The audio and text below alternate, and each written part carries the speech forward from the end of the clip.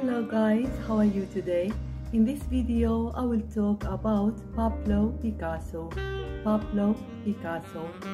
Pablo Picasso from 1881 to 1971. Pablo Picasso is probably one of history's most famous names. He was a Spanish painter and sculptor and perhaps one of the most organized figure in the 20th century art. He is best known for starting the Cubist style. Among his most famous works is the painting of the German bombing of the Spanish city Guernica during the Spanish Civil War. Picasso was born into a middle-class family. He took after his father who was also a painter and a professor of art.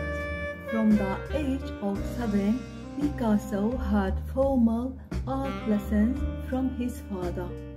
Picasso threw everything into art and his school grades went down. Aged 16, the family sent Picasso to study at Madrid's Royal Academy of Art. Picasso moved to Paris in 1900. It was difficult for him to make a living. In 1911, he was questioned by the police for stealing the Mona Lisa. In the summer of 1918, Picasso married to ballerina Olga Khokhlova. She introduced them to the rich people in Paris in the 1920s. He became a celebrity and a very respected artist. Picasso also acted in movies and always played himself in his film appearances.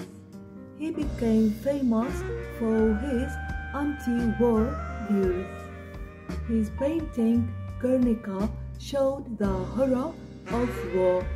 He publicly opposed America's involvement in the Korean War.